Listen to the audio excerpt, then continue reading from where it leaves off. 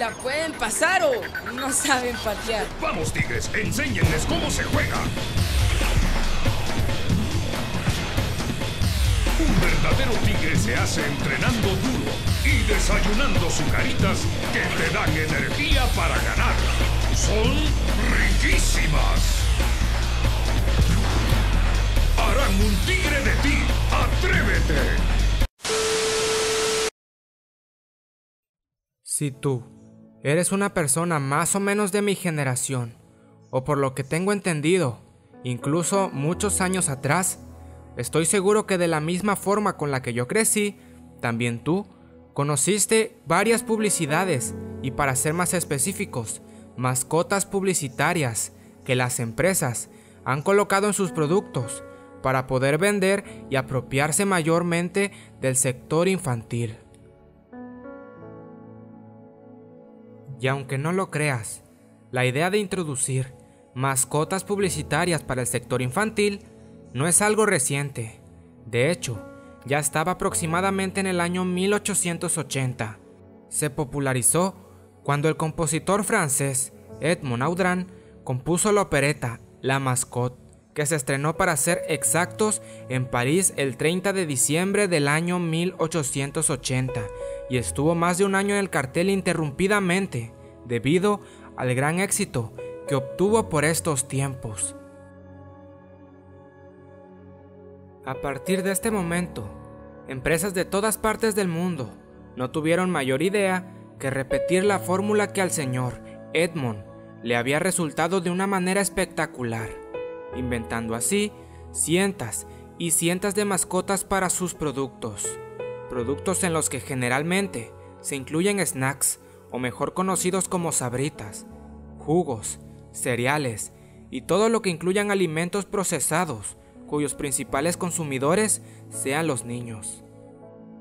Pues, hacer que los infantes empaticen con una mascota, de cierta forma, crea un vínculo entre el niño y la marca.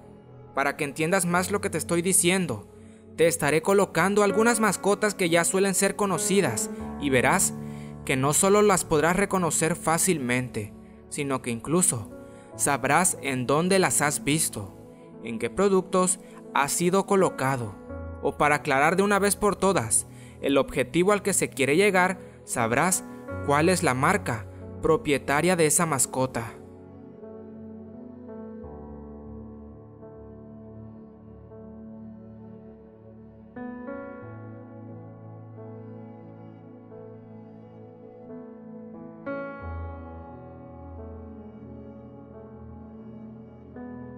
Ok, ahora que hemos llegado a tal punto, en que has visto los ejemplos de mascotas publicitarias de distintas marcas que yo ya te he colocado, quiero hacerte la pregunta. ¿Las reconociste? ¿En qué productos suelen salir estas mascotas? ¿Cuál es la marca que utiliza cada una? Lo más probable es que a estas alturas te estés preguntando, ¿qué tiene de importante todo lo que te acabo de decir y mostrar? Pues déjame decirte que tuvo que ser necesario mostrarlo para que sepas de lo que trata y puedas comprender más fácilmente el tema central de este video. Tony the Tiger, mejor conocido como el Tigre Toño, es la mascota de los cereales de desayuno Frosted Flakes de Kellogg's, también conocidos como Frosties en Europa y Zucaritas en Hispanoamérica, que aparece en el embalaje y publicidad de todo el mundo en el que se comercializa su producto. Fue visto por primera vez en los empaques en 1951 y desde su debut ha pasado por múltiples cambios hasta llegar a lo que hoy en día conocemos, convirtiéndose así en un icono de los desayunos rápidos. La marca Chetos, anteriormente en el año 1971, contaba con el ratón Chetos, que posteriormente desapareció en 1979 y en el año 1986 introdujeron a Chester Cheetah, mejor conocido en Hispanoamérica como Chester Chetos, que es la mascota que todos conocemos en la actualidad. También tenemos al elefante Melvin, quien vendría teniendo una historia muy similar al tigre Toño, solo que este salió a la luz por primera vez en 1959. Recientemente salió a la luz la novedad de que todas estas mascotas, incluyendo algunas más, tales como la mascota Bimbo y Sam del cereal Fruit Loops, no aparecerían más como las mascotas publicitarias de todas estas marcas, desapareciendo así todas las transmisiones en las cadenas televisivas de comerciales que transmitían las publicidades en donde estas mascotas aparecían, y obviamente también siendo removida su imagen de todos los productos en los que su imagen era utilizada. Una noticia demasiado triste para todas las personas que llegaron a sentirse identificadas y crecieron viendo a estos comerciales en donde eran partícipes estos personajes. ¿Por qué se llegó a la decisión tan drástica de quitar a todas estas mascotas que hace varios años y por múltiples generaciones habían estado vigentes en los productos? Aquí es donde entra el juego y en contexto lo que ya te había contado con anterioridad y los ejemplos que te coloqué. Pasa que los niños ya identificaban muy bien a estas mascotas. El vínculo entre marca y consumidor ya estaba hecho, lo cual no tendría nada de malo, pues eso es a lo que se quiere llegar al momento de lanzar una publicidad. Solo que, entre todo esto, hay un pequeño detalle que fue el detonante para que al final se tomara la decisión de que estos personajes tenían que ser removidos del mercado. El gran detalle fue que la mayoría de estos personajes promovían una imagen que en realidad no era lo que te estaban vendiendo. Para que entiendas a lo que quiero llegar, tomemos de ejemplo al tigre Toño. Basta con ver una de sus publicidades para que te des cuenta de la manera en que promueven su producto.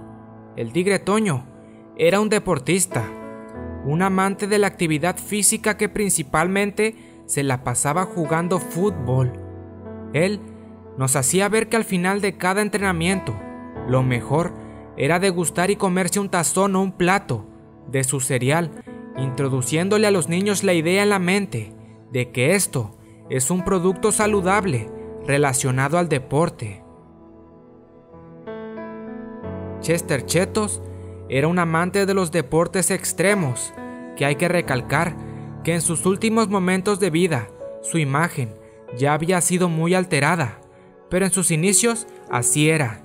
Chester se incentivaba y después de comer una bolsa de su famosa fritura, chetos, agarraba una clase de energía para poder practicar su deporte. Todas estas mascotas hacían ver a su producto como algo saludable, algo que te brindarían las vitaminas y la energía suficiente antes o después de un entrenamiento cuando todos ya sabemos la cantidad de azúcares y de grasas saturadas que contienen estos productos. Una lástima que después de décadas en el mercado, nos tengamos que despedir de varias de los personajes más queridos en nuestros recuerdos, pues yo también llegué a crecer con ellos y siento mucha pena por esta decisión, pero sinceramente creo que fue una decisión correcta. Pero lo más importante aquí es saber a final de cuentas, ¿qué opinas tú? También creciste con algunos de estos personajes. ¿Los extrañarás? ¿A cuáles extrañarás más? Házmelo saber todo allá abajo en la caja de comentarios, que yo estaré leyendo sus opiniones y dando corazones también a la gente que me lo pida. Si el video te gustó, no olvides suscribirte a mi canal de YouTube, donde podrás encontrar mucho más contenido referente al misterio y lo desconocido. Te invito a echar un vistazo para allá para ver todo el contenido que tengo para ti. También puedes seguirme en la página de Facebook, donde igualmente me mantengo activo. Cuídense y nos vemos hasta la próxima. Yo he sido Mexa Normal.